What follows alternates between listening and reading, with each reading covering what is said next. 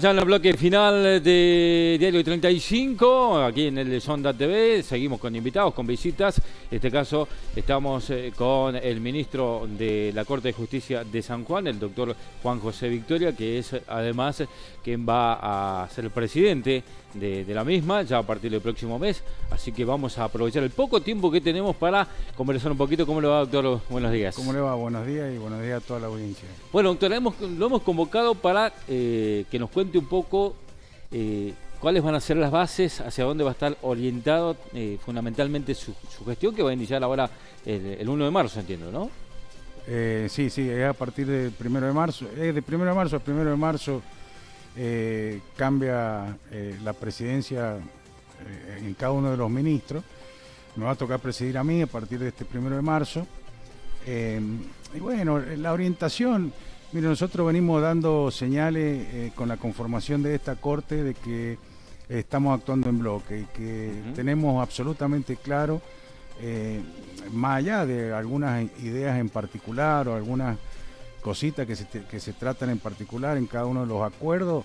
Eh, sabemos dónde hay que, llevar y poner al Poder Judicial, el servicio que tenemos que brindarle a la comunidad. Así que lo, de la presidencia en realidad lo tomo como, como una circunstancia, nada más que eso, porque quien gobierna el Poder Judicial es la Corte de Justicia.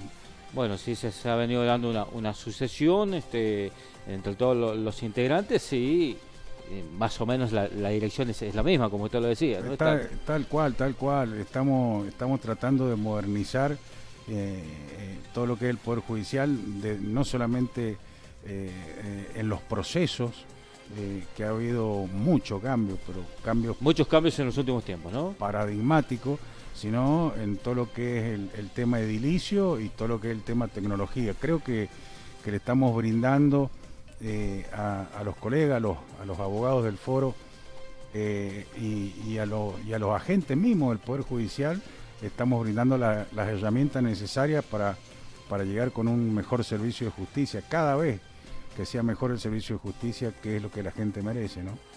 Bueno, eh, habló de, los cambios, ¿no? Hasta ahora esos cambios se han evaluado como positivos dentro de la justicia, ¿no? Los que se han realizado hasta ahora, digamos, en las, últimas gestiones? Absolutamente, absolutamente. Eh, eh, todo lo que está cambiando a, oralidad, todo lo que es mediación, todo lo que es el, tema de flagrancia, eh, el sistema acusatorio penal que ha sido implementado hace poquito más de un año. todo esto ha venido a, cambiar una realidad del Poder Judicial que que con aquellos procesos eh, eran muchísimo más estancos, más demorosos, se prescribían las causas, la, que no tenía detenido eh, generalmente prescribía y demás. Ahora se está atendiendo absolutamente todo. Eh, se está trabajando en, la agilidad de estos procesos, pero como todo cambio, que no es solamente en materia penal, se, se, está trabajando en el tema de las oficinas judiciales, en lo que es civil, laboral y, familia. Eh, pero todos estos cambios de, sistemas, de procedimientos, eh, naturalmente que, eh, en, ese proceso de cambio aparecen algunas flaquezas que son las que realmente le, vamos a tener que poner especial atención este año y porque hace falta consolidarlas, nada más, están funcionando muy, pero muy bien. Eh, a mí me ha tocado en, este año que pasa o que ha pasado eh, por eh, mandato del presidente de la Corte me pidió el tema del control jurisdiccional, algo, algo que a mí me, interesa y, me he preocupado siempre. Y nada, cuando yo he ido visitando juzgado por juzgado, tribunal por tribunal, te vas dando cuenta de, de las cosas que le van haciendo falta, o, empezar por capacitación del personal o por el tema edilicio, como dije recién, algunas veces el tema tecnológico, eh, pero realmente los cambios que se están produciendo son muy profundos, creo que San Juan lo merecía eh, y vamos a seguir trabajando en ese sentido, mm, con el apoyo creo de, los otros cuatro ministros eh, creo que vamos a, tratar de consolidar lo que se viene haciendo ya de, un par de años a la fecha. ¿no? Y en ese aspecto, por ejemplo, en el, tecnológico, ¿hacia dónde se apunta? ¿Cuál es el objetivo, la meta, digamos? Eh, bueno, mira, por ejemplo, eh, que si a uno, a uno le resulta muy extraño, hoy hemos tenido que alquilar un lugar en el que, bueno, lo hemos dividido para para estacionamiento o, guardería de los, de los vehículos del Poder Judicial y para archivo. Entonces, eh, y, son espacios interesantes, costos interesantes, cosas que son, eh, creo que casi obsoletas a esta altura de, los acontecimientos. Eh, estamos muy cerca, se, ha venido trabajando y creo que lo vamos a consolidar, que llegar definitivamente a la despapalización de, los procesos judiciales. y llámese expediente electrónico, eh, se está trabajando en la autogestión, todo vía eh, internet, hasta de los libramientos, de los pagos, eh, con una agilidad que, es asombrosa. Te digo que la, agilidad que se le está poniendo a todo este tipo de procedimientos es asombrosa. Gracias a la tecnología y gracias a la gente, hablo de los abogados litigantes y de quienes en definitiva receptan el servicio de justicia, de que se van incorporando, digo, o van tomando todo esto que no es una cuestión fácil, ¿no? A ver, eh, uno ha litigado 25 años, ha caminado tribunales por 25 años, eh, y realmente yo mm, ver hoy eh, cómo desde tu escritorio subí un escrito o pedí un libramiento, antes eso era caminar, ir, venir, pedir, que te den el papel, que te firmen, que faltó el sello, ir al banco. O sea, yo creo que en estos pocos años eh, ha sido, ha sido han sido unos avances eh, realmente extraordinarios. Y estamos dispuestos a seguir en ello. Y lo que vaya surgiendo eh, como innovación o como que están haciendo también en otras provincias, porque estamos en contactos permanentes, lo vamos a ir implementando para para tratar de acortar los plazos y que la gente tenga resoluciones o tenga eh, la, solución que espera a su problema, porque son conflictos en el Poder Judicial, lo tenga en un tiempo que sea absolutamente razonable. Uno de los temas que han tenido que ir resolviendo ha sido el tema de la estructura de edilicia, ¿no?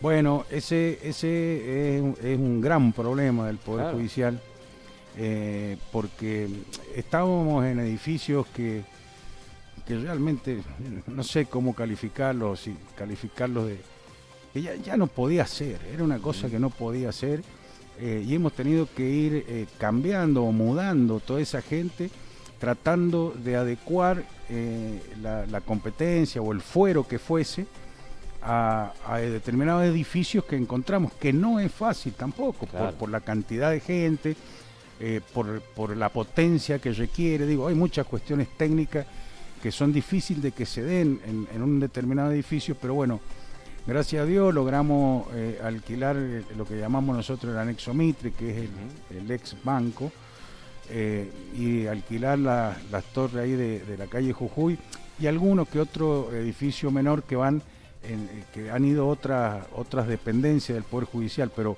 básicamente en esto, más el edificio 25 de mayo, o sea, el, histórico del Poder Judicial, eh, yo creo que han mejorado, pero un 100% lo que, son, lo que es la, calidad edilicia de, pero que no es solamente de quien trabaja en el Poder Judicial, sino es quien va a, requerir el servicio eh, al Poder Judicial. Se han hecho muchísimas cosas en eso y bueno, ni qué hablar de, de que este año tenemos ya la, promesa quizá o, los trabajos hechos eh, para, para, licitar la, ya la ejecución de lo que vaya a ser la ciudad judicial allá en el predio frente al, al Hiper Libertad. Sí. Eh, se está también licitando, el, eh, o vamos a licitar, por supuesto, ahora lo que es la ciudad judicial de Hachal también. Eh, Eso iba a preguntar en los porque eh, es otro tema. No, no, pero fíjate vos, el, tema de, Hachal, que es llamada la segunda circunscripción judicial, eh, estaba como, como allá Hachal, eh, y tiene hoy una preponderancia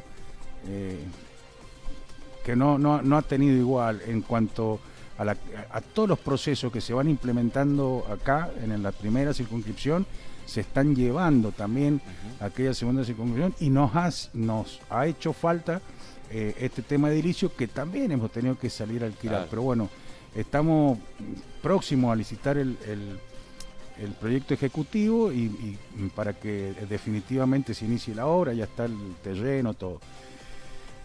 Desde hace varios años a la fecha se vienen eh, haciendo que no es una cuestión menor tampoco, la, eh, el, juzgado de paz de cada departamento, de los departamentos alejados, son todos nuevos.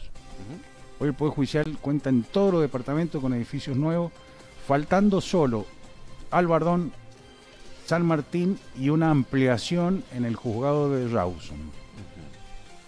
También vamos a licitar este mismo año esas obras, eh, que son las únicas que le queda para, para terminar con todos los departamentos, los juzgados de paz nuevos en todos los departamentos eh, porque tienen, tienen también gran importancia. Vos acordate que, los Juegos de Paz eh, eh, alejados, no, no los del Gran San Juan, son multifueros, atienden todos los fueros, desde una cuota alimentaria, un delito, o,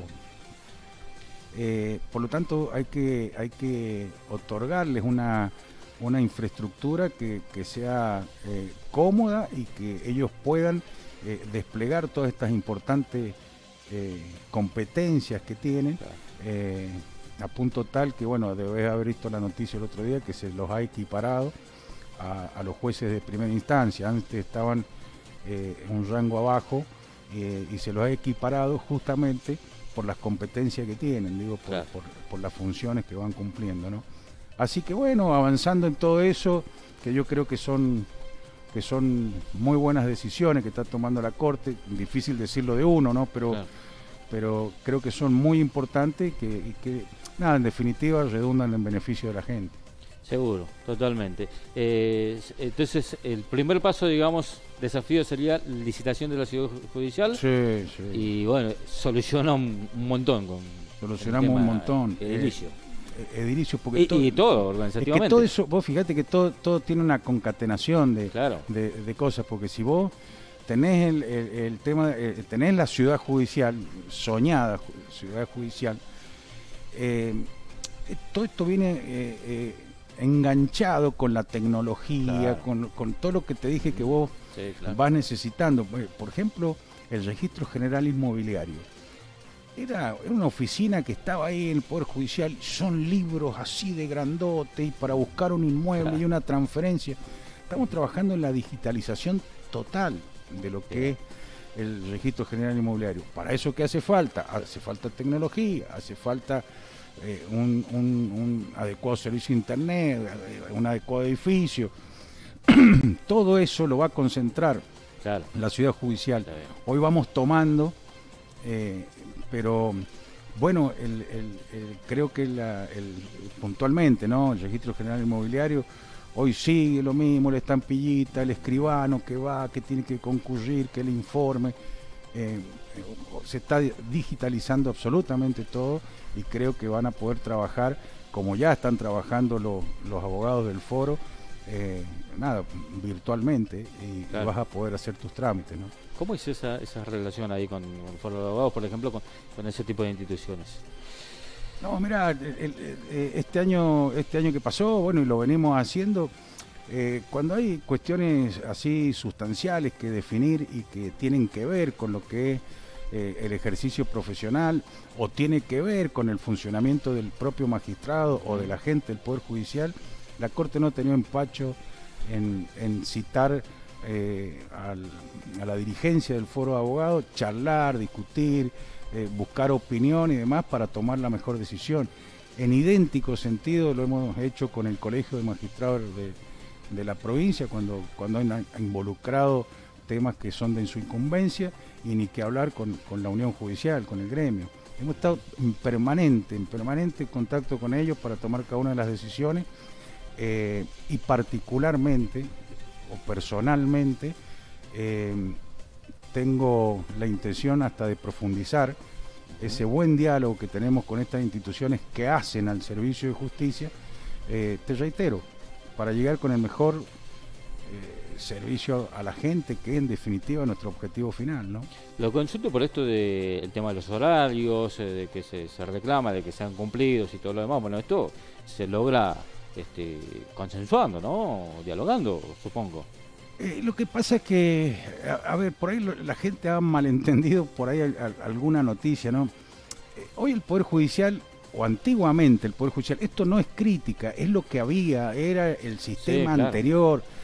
El Poder Judicial trabajaba de 7 a 13, a las 13 cerraba la puerta, te iba y hasta mañana, a las 7 de la mañana no había actividad. Eso ya cambió, pero hace tiempo que cambió. Hoy el Poder Judicial trabaja a las 24 horas. Es más, estamos teniendo, ahí he visto ahora un reclamo de la gente que trabaja de noche. A ver, eh, eh, el delito no se produce de 7 a 13. Entonces, todo lo que son. No hay Ni feriado, ni sábado, ni domingo.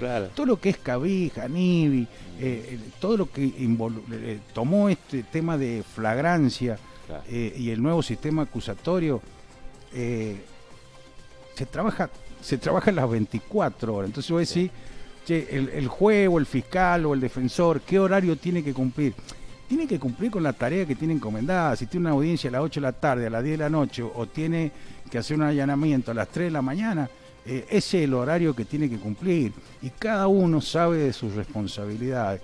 Y la Corte, que también estamos pensando implementar en esta gestión, alguna oficina eh, que sea la que vaya controlando, midiendo los rendimientos y demás. Y de eso se trata, más allá porque yo hoy no le puedo decir a un juez, vos tenés que estar de 7 a 13. Bueno, está bien, pero me han fijado una audiencia a las 8.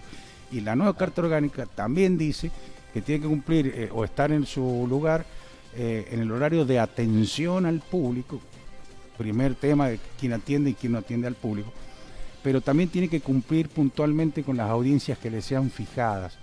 Bueno, si te fijas una audiencia a las 8 de la tarde, no puede estar de 7 de la mañana a 8 de la tarde. O sea, lo único que está claro eh, son las, las 8 horas eh, o, las 6 originales más las dos que te pueden convocar, eh, que se llama la jornada laboral. pero hoy, el, hoy el, Poder Judicial es muy dinámico y, te reitero, trabaja las 24 horas, salvo excepciones, no sé, si un camarista civil va a estar trabajando a las 12 de la noche, pero, pero, pero todo el sistema en sí, imagínate mediación, imagínate eh, audiencias penales que tienen que ser tomadas eh, en el acto o, algún, algún procedimiento que se tenga que hacer a un determinado horario, no, es de 7 a 13. Por eso tiene que ver con las responsabilidades en la que, en la que también va a ser la impronta este año de, darle absoluta autoridad a lo que son jueces, fiscales y defensores para que cada uno cumpla con la función que tiene que cumplir y las cosas salgan como tienen que salir. El consulto porque bueno, se está dando precisamente en este momento lo que se da a nivel nacional, los reclamos este, que, han salido a hacer con, marchas en contra de la Corte de Justicia, el lawfare, que se tome el lawfare, que bueno, que haya cambios, modificaciones, democratización. ¿Cuál es su, postura a, ese, eh, cuál es su mirada a esa problemática? Hablamos ámbito nacional, ¿no? Eh, sí, yo, yo lo, lo que creo y, debe ser por nuestro sistema republicano de gobierno y en honor a la democracia es que se tiene que cada institución se tiene que respetar. El poder judicial está para juzgar, el poder legislativo está para legislar y el poder ejecutivo está para ejecutar. Eh, hay quienes por ahí entienden que, que que esto es igual a aquello o que debe funcionar parecido o, politizar esto, aquello. No estoy diciendo que se, lo haya politizado, ojo, estoy hablando de funciones de las instituciones que están perfectamente demarcadas en el ámbito nacional, constitución nacional, y en el ámbito local eh, nuestro por la constitución de la provincia. Entonces, lo, que tiene que, que suceder es que cada institución cumpla con el rol que tiene que cumplir. O sea, a, mí no me parece, digo, por ahí uno critica, yo tengo la ventana hacia, hacia calle Rivadavia y por ahí veo marchas, ¿no? Y bombo y qué sé yo. Entonces, eh, pregunta, che, ¿qué pasa? ¿Qué protesta ahí abajo? ¿Querés informarte? Porque están protestando, parece, contra el Poder Judicial. Y dice, no, es que están protestando porque, eh, decir cualquier cosa, ¿no? El sábado se ha producido la violación a, a Pepita eh, y vienen a protestar y a pedir justicia. Pero si ha sido el sábado, hoy es lunes. O sea, dejen actuar a la justicia. Eh, a ver, cuando vos respetás las instituciones, el rol, es decir, acá la institución es lo primordial. Los hombres pasamos, los hombres no somos lo importante. Lo que nosotros tenemos que jerarquizar es lo institucional. Cuando cada uno eh, respete y valore la institución, seguramente vamos a construir una democracia muchísimo más sólida y mejor para todos los argentinos. Y cada uno desde su ámbito, nosotros desde San Juan. Claro.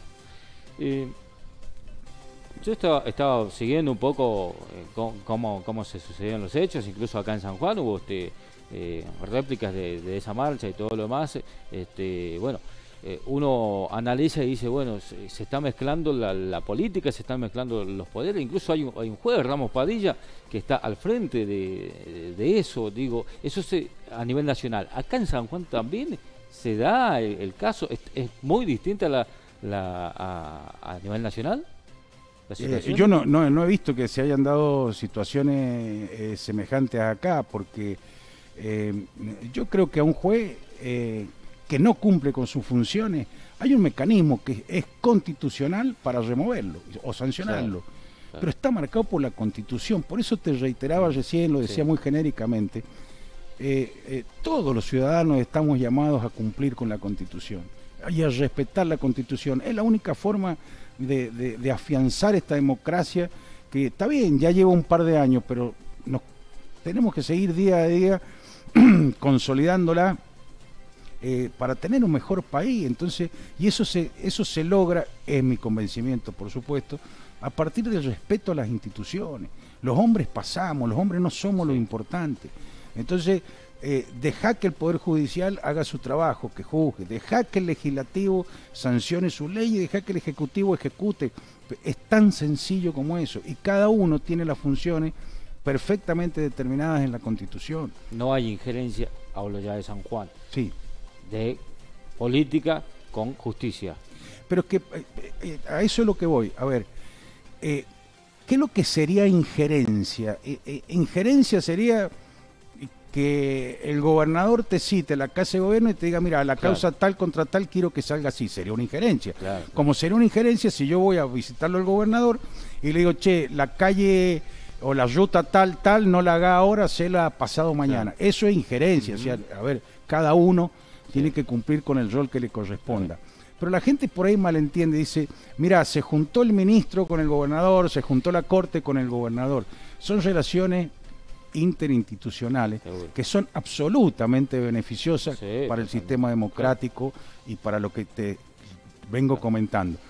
¿O vos crees que el Poder Judicial con sus propios fondos o con su propio movimiento eh, puede construir la ciudad judicial. No, ah, esto tiene que ver con el Ejecutivo y te tenés que sentar diez veces con el gobernador, con sus ministros, mirá, vamos por acá, el proyecto por acá y demás, que son las relaciones.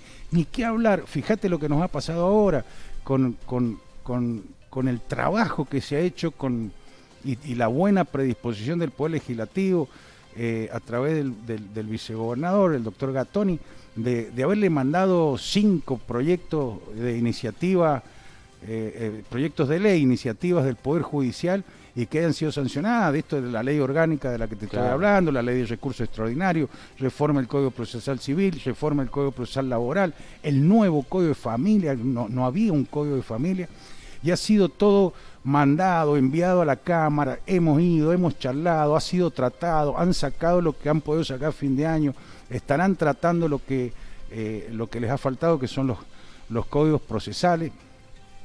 Eh, pero hay, una, hay, hay, hay un diálogo y un interés en que todo esto funcione coordinadamente, reitero, en beneficio de la gente.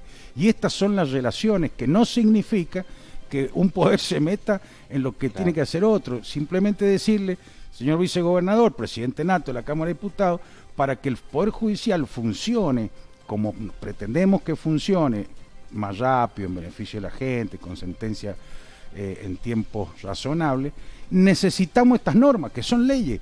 Y yo no las puedo dictar, las dicta, las dicta el legislativo.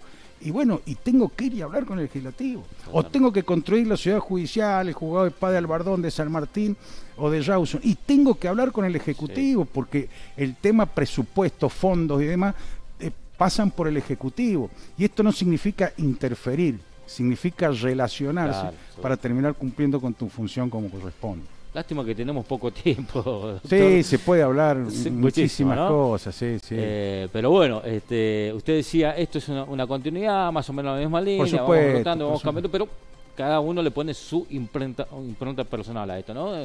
Eh, digamos, la personalidad de uno como que se eh, trasciende y, se va se va a ver seguramente en la gestión. Y sí, mira, más allá de, lo que hemos hablado puntualmente, de tecnología, edificios, hacia dónde vamos, hacia dónde no vamos, eh, soy una persona que, que se caracteriza por dialogar mucho. Eso es bueno. Por humanizar mucho. Cuando hay un problema, tratar de ver la, la faz humana y tratar de, de solucionarlo eh, es lo que me ha caracterizado como litigante, como juez de cámara que he sido eh, siete u ocho años y, ahora acá en la corte. Voy, voy a tratar de, explotar eh, quizá ese convencimiento que tengo que a través del diálogo se, se solucionan muchas cosas y bueno, y tratar de llevar el Poder Judicial con todo esto que te venía comentando y, y con esta herramienta que yo la considero fundamental. Y dándole esta misma impronta a, los jueces, que son los, son, son los dueños de sus propios juzgados, son los responsables de su juzgado. Entonces, eh, bueno, tratar de transmitirles esto, de, que hablen mucho, capaciten mucho, que dialoguen mucho, para que sus juzgados vayan por donde tienen que ir. El Poder Judicial, uno que es ministro de la Corte, tratar de llevarlo por donde tiene que ir, y cada uno cumpliendo con su función, los resultados se van a ver seguramente. Bueno, doctor, bueno. lo vamos a tener que convocar más adelante. bueno, cuando, ustedes gusten, no hay ningún problema, estamos siempre a disposición. Bueno, vamos a hablar de esto y algo hablaremos de hockey sobre patino, usted que es un oh, apasionado por eso. Eh, están, están medio los torneos ahí suspendidos, además uno tiene una gana de sentarse en una tribuna a mirar un poco de hockey, pero bueno. Ya vendrá, ya vendrá, todo su tiempo. Sí, señor. Eh, el doctor que es hincha de Estudiantil, muchos años dirigente, presidente fue. 22 años nada más. Nada más y nada menos. Nada más. Al frente de la Federación de, Patín. Sí, Liga Nacional. Liga Nacional. Eh, algo hemos hecho. Algo hemos hecho, ¿no? Qué lindo. Bueno. Doctor, muchísimas gracias por el ratito. Sé que tiene mucho trabajo, eh, falta tiempo, eh, hay que coordinar. Gracias a, Gustavo Martínez, que eh, prensa que nos ha, facilitado también la, tarea, porque sabemos que hay, hay tareas que cumplir, hay poco tiempo, así que le agradecemos enormemente el ratito y lo vamos a convocar para más. No, no, le agradeció yo y siempre a disposición para lo que necesite. Bueno, muchas gracias. El doctor eh, Juan José Victoria, ministro de la Corte, el futuro presidente de la Corte de Justicia de San Juan, aquí en el piso en Sonda TV. No tenemos más tiempo, la convocatoria es para mañana, 10.30 hasta las 12.30, aquí en el diario 35 por Sonda TV. Gracias, hasta mañana.